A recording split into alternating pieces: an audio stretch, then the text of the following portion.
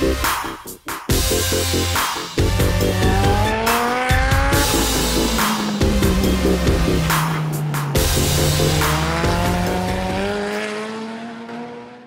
up everybody, welcome back to Krebsbach Racing. Today is all about engine management and power distribution on the Evo 9 here. This car is running on a Haltech Nexus R5 vehicle control unit, which is a PDM and ECU integrated into one. It's also running on the stock ABS system, and we have the stock all-wheel drive system running as well. Now, I didn't know anything about wiring when I started this project, and I need to thank MAPerformance, uh, DMN Racing, Professional Awesome Racing, RS Motors, and Sandbeck Race Development for all of the questions that they had to answer for me because I didn't know anything, like literally nothing. Didn't know what a, a relay was, had no idea what 5 volt was or if it was even a thing. So a lot of questions had to be answered and it took me a long time to get started with this. And I also need to thank Haltech. Um, without their system, their software integrated with their ECU and their flying lead harness, this car probably would have never ran. So we're gonna go through, we'll jump in the driver's seat, show you guys all the features that we have, and then we'll get into some of the details of how we made everything work and how all the wires ran in the car. I'll give you guys a quick tour of the office. We have the key on for ignition still, or for power on. And we have a 15 button uh, CAN keypad for our starter. Uh, you can set it up a few different ways, but I just have it to push and hold to start.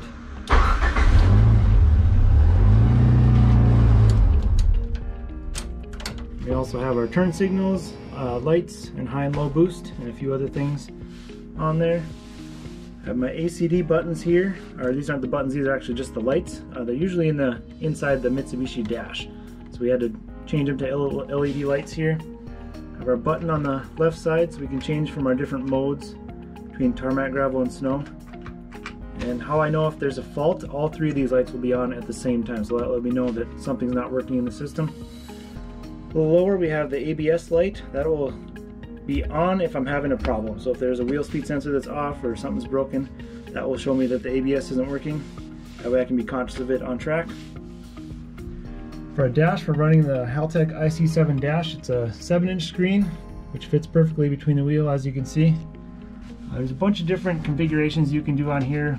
Multiple pages, you can change colors, uh, change every gauge. You can set up different warning lights for everything. Uh, you just need to set your max and mins on that stuff. I usually use uh, the second page, oil temp, coolant temp, and a bunch of other stuff on here. You can also set your tach to however you want. So if you want your red line to be at 8,000 or you want your max to be 10 or 9, you set however you want. It's also dimming. We have our buttons over here on the left side so you can dim it up or down. Uh, buttons are super easy to find and push if you're wearing racing gloves or anything like that. Pretty happy with that. For data logging and lap times, I'm using an AIM Solo 2. Uh, it was the cheapest option for me since I already had one, so it just wires into the CAN port on the Nexus. One feature that I did add is an Evo 10 pedal. So this is a drive-by-wire pedal, and we also have a Audi R8 drive-by-wire throttle body. So this allows me to run auto blip on downshifts and also full throttle shifts. So I have a have a switch on the brake and a switch on the clutch. So if the ECU recognizes that the brake is pushed in and then the clutch is pushed in, as soon as the clutch is pushed in, it'll give it just a little blip of throttle. So I won't have to try to heel toe and lose a little bit in the braking zones. And I also have it set up for full throttle shift. So if the if the gas pedal is pushed all the way down, and it notices that the clutch is pushed, it'll give it an ignition cut. That does it for the driver's seat, so I'll show you guys some of the wiring we have. Uh, this was all really nice and tucked before, but a year ago I decided to put a front cage and get rid of all the interior in here, so it's a little messy. We have the battery that was mounted behind the driver's seat, or passenger seat. Some loose wires here that were extra. This is all the 5 volt and 12 volt and grounds. We have the Nexus mounted here on the floor and the main wiring harness kind of going up through the stock location uh, using some Haltech wiring and their firewall boot. We have another harness going towards the back. This is for the tail lights, um, also for the ACD pump and a few other things, sensors back there.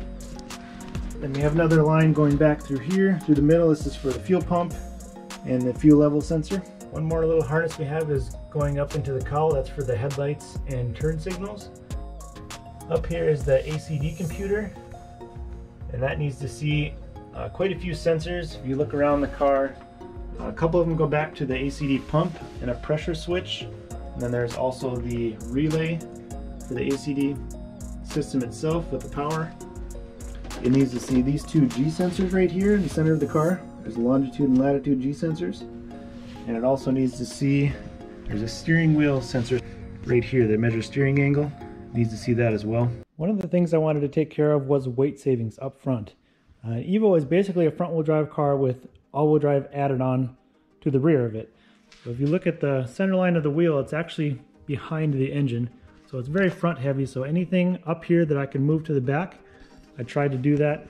There's uh, most of the stock wiring, the fuse box and everything is actually underneath the dash right by the driver's feet, which is a bad spot to have any weight. That's the heaviest part of the car where the driver is. The main harness actually came through the fender here and ends up the fuse box for the engine compartment is right here too, along with the battery. So we were able to move all of that back over to where the ECU is and then relocate the battery back to help with weight distribution. Uh, we also removed the power steering, which is right up here, uh, probably 15 pounds worth of power steering and stuff in lines. We relocated that to the passenger compartment. This is an Opel Astra, I believe, power steering pump. I had a custom line made locally here, and all it needs is just a power and ground and then two 12 volt switches to turn the power steering on. It works works great for road course and everything driving around, but for autocross it it struggles with quick turns just a little bit. You kind of get caught every once in a while if you're really trying to go back and forth. And in the trunk we have the ACD pump mounted.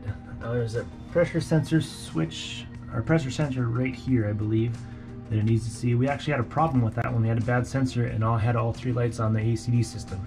So once we changed that out, it finally started working and we got ACD back. Like I said before, the wiring comes through the stock location kind of behind the motor and we split it into two different areas. So one comes over to the left here, that goes to our alternator, uh, knock sensor, crank sensor. We have our fuel temp and pressure, comes to our coils here and our injectors. I got these a little bit different style connectors. They don't have the little pins on them. They have, just have little ears on the side. They come out a little bit easier. It also comes over to the oil pump, our oil pressure and temp. The second part of the harness kind of comes to the right underneath the throttle body. That feeds our uh, throttle body, our cam sensors, both of them, our vehicle speed sensors down on the transmission underneath there. Our coolant temp is right here on the back of the housing, IAT sensor, and then our boost control solenoid over here on the right. One thing I don't want to leave out is grounds. So make sure you have plenty of grounds going from the engine to the frame. We have one here on the passenger side, one back here on the intake manifold, and then we also have one down on the transmission. ABS is also located right here, so right underneath there is where the ABS harness comes in and goes to the different uh, vehicle speed sensors and communicates with all the other sensors it needs. So how do you get started with a complicated project like wiring an entire car? Well, luckily the guys at SRD came over and we wrote down every single thing that we needed for the car. Everything to run it, from outputs and inputs to features and functions. Anything that you want in the car, you have to figure out that system. The trigger system, you need to figure out how that works. Uh, the drive-by-wire, anything that you want to add, you need to figure that out beforehand and figure out if the ECU that you're using is capable of uh, running that feature. So after we wrote everything down, we went into the Nexus software and filled everything out, which made it a lot simpler for me to understand this is the NSP software. All you have to do is select these on the left side, these main menus. They have drop downs for everything. So we'll select our engine configuration and you need to select everything. All this program knows is that I'm running a four cylinder engine. So every single part of the engine, every part of the electrical system, you need to input and tell the computer what to do. So this is a 2.2 liter four stroke, four cylinder. You can enter in your firing order and Haltech will kind of input that stuff into other parts of the calibration. It'll automatically select your fuel system wiring. So we have our four injector wires here, along with our ignition system. As our 25 amp power output for the coil packs, and then our four ignition outputs. Get into some sensors. Select the main menu and you can select all the sensors that you're going to run and just go through each one one by one. So let's select our oil pressure You need to download your calibration for what sensor you're actually using. You can set your minimum pressure at different RPMs, minimum and maximum warnings. And you can also set up your safeties through here and your wiring. So when you go in and select your wiring, this one's using the AVI 9, but you can go in and edit and select any available wire for that. Fuel and ignition tuning in here, you just select all your modes for that. These are all the engine functions that you can select. Again, select everything you need. Say we're going to go into a fan and select when it will enable and disable at what temperatures. And you select your wiring, you need to use a 25 amp output, so that's one of the four that you can use for the thermal fan. Select all your electrical. Have our engine control relay, engine starter, headlights, taillights, that type of stuff. All you need to go in is select and figure out your wiring. So I have an 8 amp output for that. Our engine starter control is right here, so you can select your start stop button. And mine's just set up as momentary, as long as you hold it. And the wiring is on the CAN keypad, button number one. Any generic stuff that you want, like a cigarette lighter or a horn, select those. Go in and select which wire you want to use, what output, and then your different connections. These will be your CAN outputs and inputs. This is for the CAN keypad and the Haltech dash. As you can see, this is pretty simple to use. I went through this probably 15 times before I even started wiring the card just to get familiar with it so I could easily change stuff and kind of know what's going on with the calibration. After you're done going through the entire program and selecting all your wires, the coolest thing about this program is you can go up top to setup, your IO report, and this will give you a list of all of the wires that you have assigned to everything. So all you need to do is print this off to take it over to the shop and then you can do your available ones too. Uh, print this off and you can disconnect and depin all of these from the harness that you're not using. Here we have our Nexus VCU, a few sensors, the flying lead harness, CAN keypad, dash, uh, boot kit, and then also some more wiring supplies. This is the harness all laid out on the table. We basically took each wire and separated each one out, pulled them all together and labeled them with a label maker. And then we grouped them together, all the wires that were going to the same area, so it was easier to install and then taped them all up and brought them over to the car. Now at some point everybody's car is going to look just like this and it's pretty disheartening, pretty frustrating, but all you need to do is keep on working, figure out one wire at a time and you will be able to get through it. This was the worst my car looked and as you can see it was quite a mess. Most of this is the ACD and ABS system with the Nexus underneath there, but just one by one, figure out each wire, keep on going, and sooner or later your car is going to run. This is a few weeks after the first picture, so you can see we have everything nicely tucked up underneath the dash. Uh, the rear harness going underneath the door sill here, everything looking pretty nice and neat, and ready for first fire up. This was the most difficult part of the build. This is the ACD and ABS wiring diagram. I got this off of Mitchell Repair, just used a monthly subscription. So over on the left we have the ACD, ECU, on the right we have the ABS. Across the top these are all the fuses that the stock car has and we just use the 12 volt switch. These don't need a lot of power. Use the 12 volt switch from the Nexus to power the ACD switch, steering angle sensor, all-wheel drive ECU, the ACD pump, another one for the all-wheel drive ECU, and the G sensors. Then on the bottom is all of the sensors. So we need all of the wheel speeds, pressure for the ACD pump, uh, throttle position. You actually need to tap into the Evo 10 pedal and find the 0 to 5 volt wire and wire that in. Steering angle sensor, parking brake, and the ACD change mode are the, the ACD switch. And then we also have the three lights. These are for the gravel, snow, and tarmac that I wired into the dash. There's another wiring diagram for just the ABS, which needs a few more things that aren't on the other wiring diagram.